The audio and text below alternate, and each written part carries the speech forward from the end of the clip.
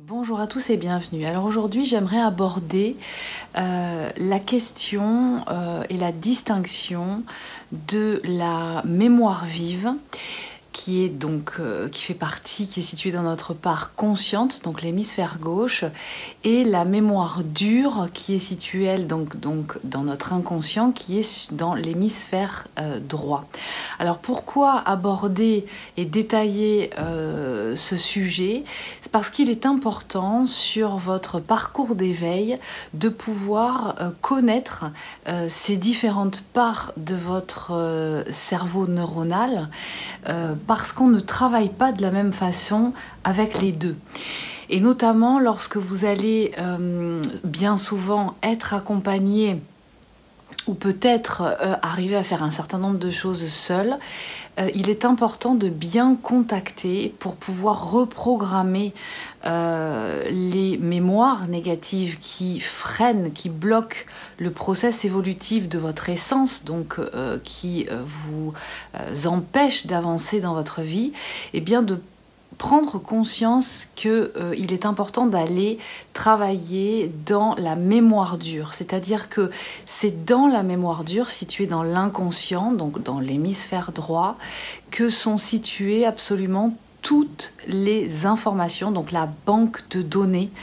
euh, qui correspond, qui est relié à votre essence. Donc, euh, ce que certains appellent les mémoires akashiques. Donc, c'est là qu'il est important d'aller euh, travailler pour que le, les bénéfices de ce travail soient vraiment durablement, définitivement installés. Donc déjà, vous expliquez comment fonctionnent euh, dans euh, vos deux hémisphères, en fait, euh, ces deux mémoires. D'accord? C'est un petit peu comme en informatique, vous avez le disque dur, la boîte noire de toutes vos mémoires, qui est située, elle, donc dans l'hémisphère droit de votre, de votre cerveau. Donc c'est ce qu'on appelle l'inconscient.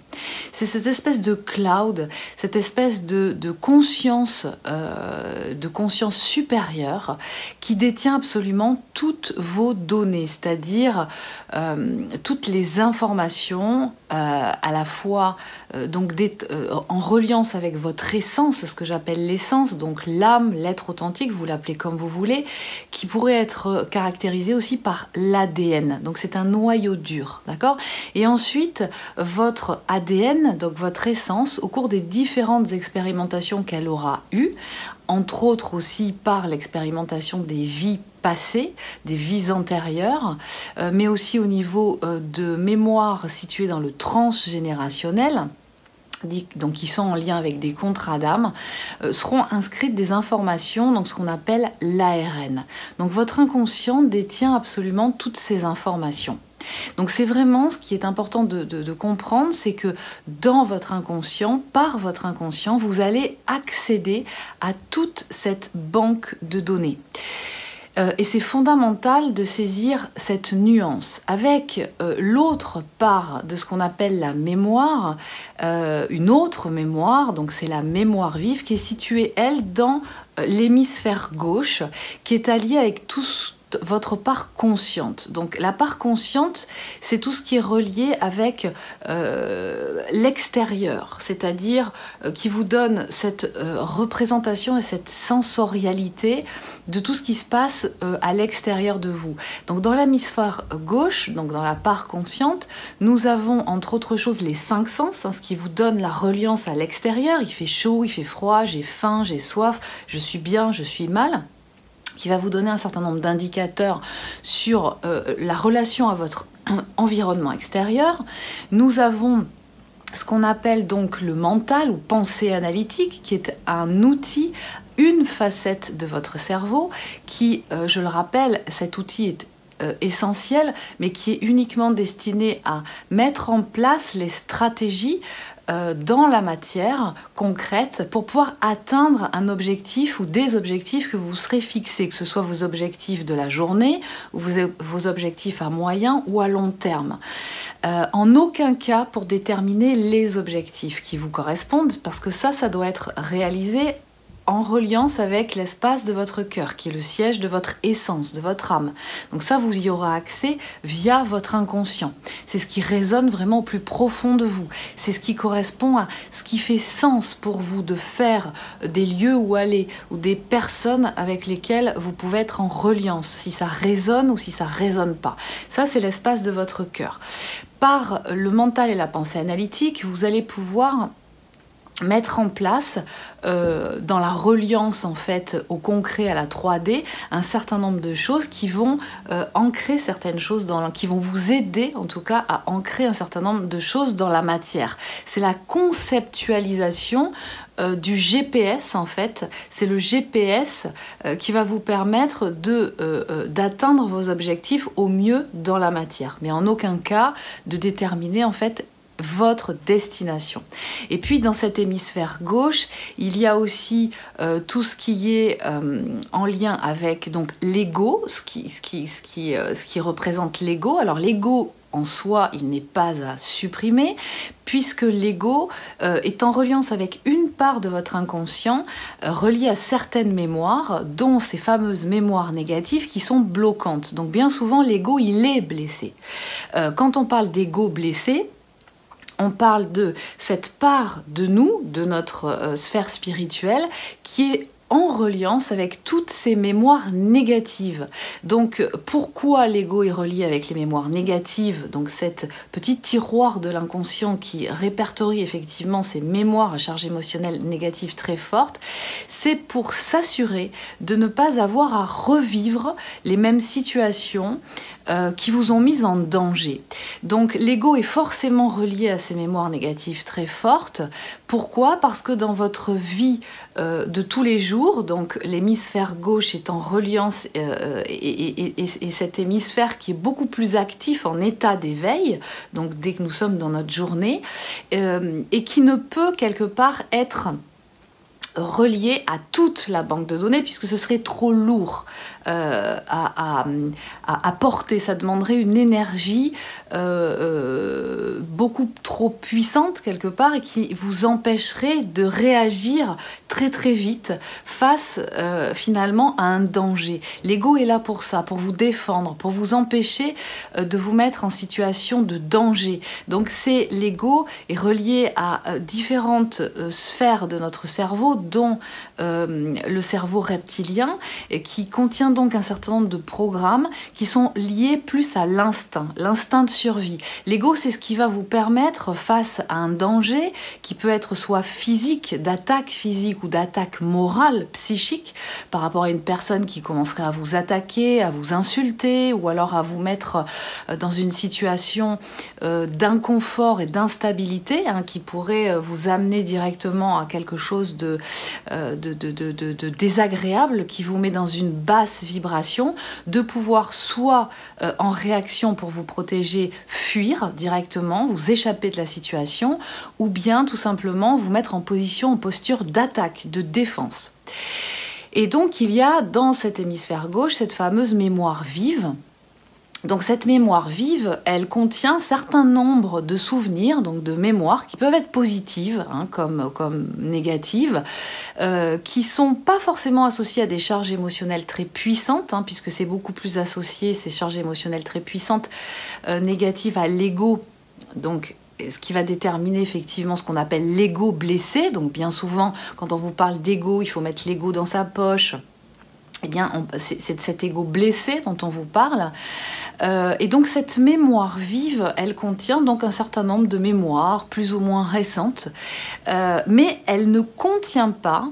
euh, toutes vos mémoires. Et bien souvent, quand on fait un travail analytique, c'est-à-dire quand on reste en état d'éveil, donc qui est cette capacité de fonctionnement cérébral donc qui euh, correspond en fait à une activité cérébrale qui fait qu'en fait il n'y a qu'une seule partie du cerveau qui est, euh, qui est active, c'est-à-dire l'état d'éveil va générer l'activité uniquement de toutes ces euh, facettes de l'esprit dont je viens de vous parler. Donc les cinq sens, la mémoire vive, le mental pensée analytique, pour structurer, hiérarchiser, pour pouvoir nous permettre de nous exprimer, de structurer l'information comme je suis en train de, de, le faire pour vous présenter euh, une idée, un projet, un concept, euh, pour structurer par écrit aussi euh, un projet que vous auriez à présenter à l'extérieur, à des gens extérieurs à vous, de façon à ce qu'il soit explicite, à ce que les gens puissent y adhérer, puissent le comprendre. Et puis cette donc de l'ego. Euh, donc ça, quand on est en état d'éveil et que donc on n'est pas dans un état modifié de conscience qui est que du coup les deux hémisphères sont totalement reliés et donc où vous avez accès en conscience avec cette part de toute la banque de données, donc du disque dur, eh bien vous ne pouvez pas euh, travailler euh, de façon efficace. Pourquoi? Vous allez parce que vous allez avoir accès qu'à un certain nombre d'informations, parce que vous serez uniquement relié qu'à cette mémoire vive.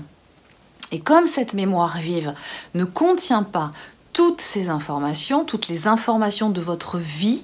toutes les informations qui sont en lien avec votre essence, avec vos expérimentations euh, dans les vies passées, dans les vies antérieures ou au niveau du transgénérationnel, eh bien c'est comme si vous vous mettiez à faire un chantier, euh, mais sans tous les outils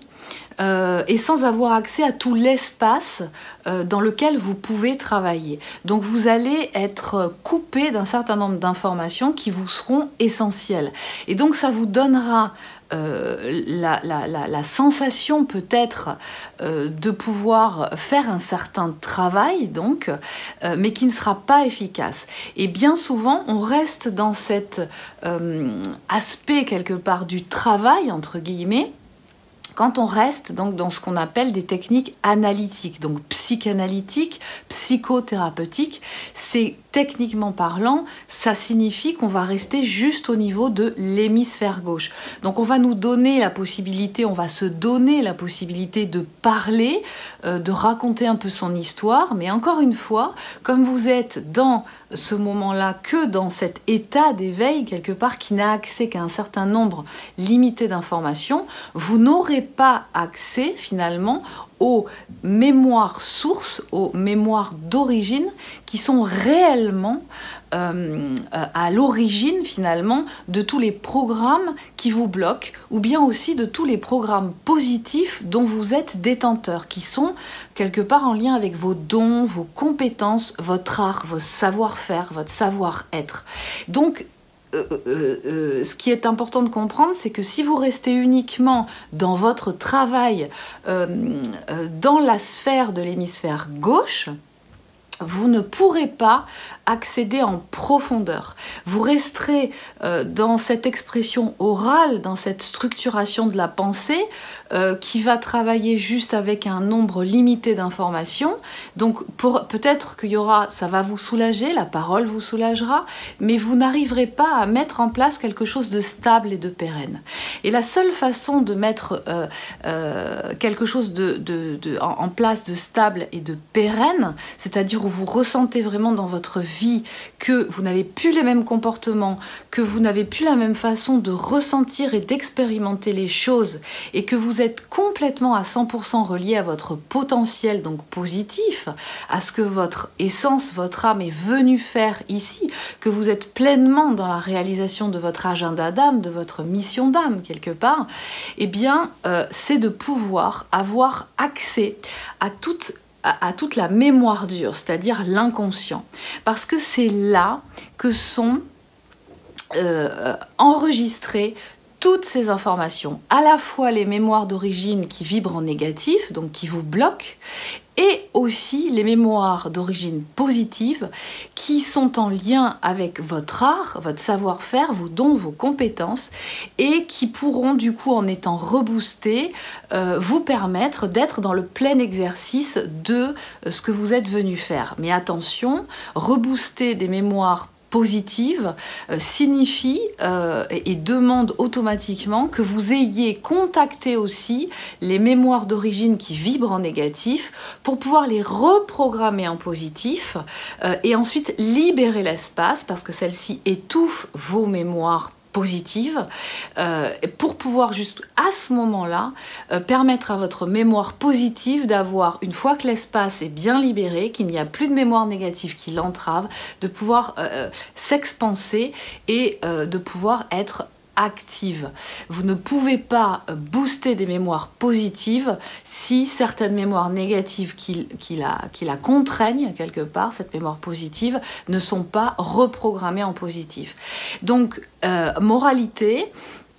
euh, il n'y a qu'en accédant à cet espace donc de l'inconscient qui est votre mémoire dure euh, par des procédés particuliers qui vous font rentrer donc dans cet état modifié de conscience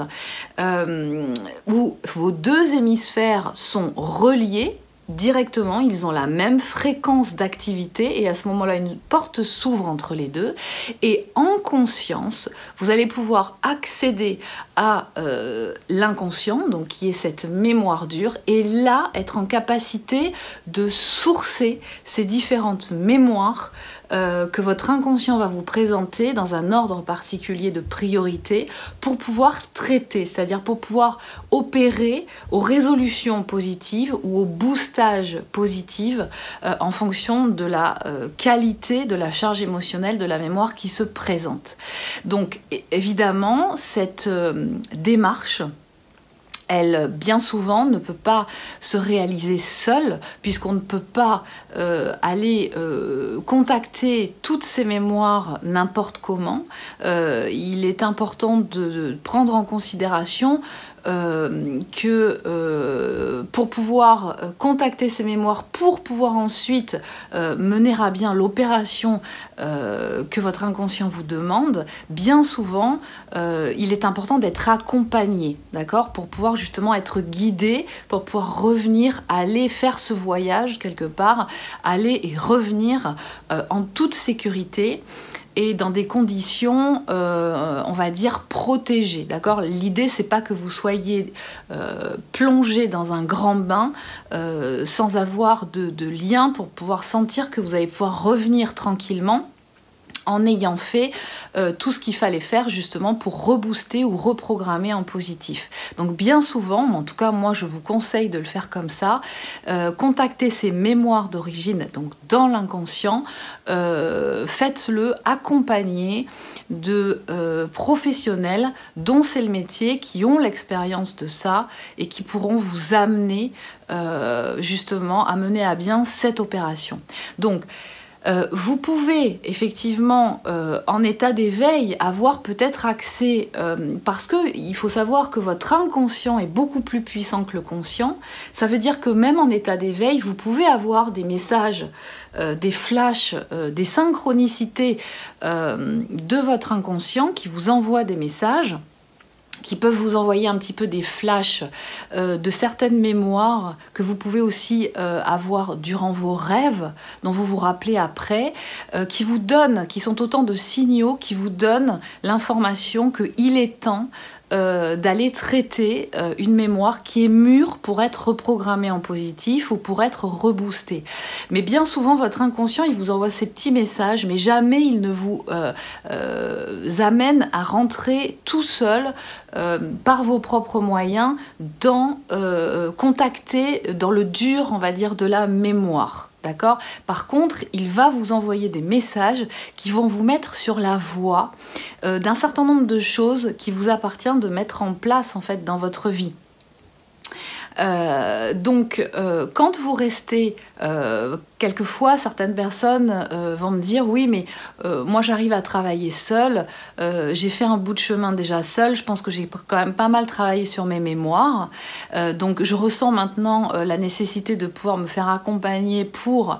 contacter, aller un petit peu plus dans le vif du sujet, on va dire. Et bien souvent, en fait, ces personnes se rendent compte que le travail qu'elles ont fait seules, alors certes, si ça s'est présenté comme ça, c'est que quelque part vous aviez aussi, vous, à conscientiser quelque chose par vos propres moyens, euh, à développer aussi des techniques d'auto-guérison, d'auto-transmutation euh, autonomes, et c'est aussi important de le faire. Néanmoins, en général, ces personnes se rendent compte que euh, quand on va accéder à l'inconscient, donc euh, en étant accompagné, en l'occurrence dans des séances que je guide avec eux, ils se rendent compte qu'ils accèdent à des informations qui sont beaucoup plus intenses et beaucoup plus puissantes et que du coup euh, l'opération qui se fait durant la séance de reprogrammation positive sur ces mémoires ou bien de reboostage eh bien, a, a un effet concret vraiment dans leur vie. C'est-à-dire que de toute façon, quel que soit le travail que vous allez faire, la résonance euh, et la validation que ça aura été efficace euh, va être vraiment dans votre vie, en vous. C'est-à-dire, euh, vous allez à ce moment-là être vraiment aligné, il y a une résonance énergétique qui se, euh, qui se fait ressentir suite à ce travail. Et en même temps euh, vous allez avoir des résultats concrets dans votre vie, vous allez sentir que euh, vous êtes de plus en plus à l'aise dans vos compétences, que certaines vont se révéler à vous, que vous allez être poussé à les mettre en œuvre, que vous allez être en capacité de mettre en œuvre tout ça dans votre vie et que vous allez sentir que euh, les gens qui n'ont plus rien à faire dans votre vie ou qui ne vous sont pas bienveillantes euh, vont s'éloigner, que d'autres vont arriver et vous allez sentir vraiment que vous êtes sur votre chemin. Vous allez être poussé, guidé et en même temps avoir des résultats concrets. Vous allez sentir aussi que vous n'êtes plus du tout impacté de la même façon, donc en négatif sur la réaction de certaines personnes ou dans certaines situations et que vous trouvez en fait, vous avez les messages euh, qui vous guident pour contacter certaines personnes, vous mettre en lien, vous associer à certaines personnes euh, ou tout simplement euh, vous former ou concrétiser un projet professionnel, personnel, familial qui vous correspond complètement. Donc c'est vraiment ça la validation. Donc j'espère que j'ai répondu à vos questions. Je vous dis à très bientôt et prenez soin de vous.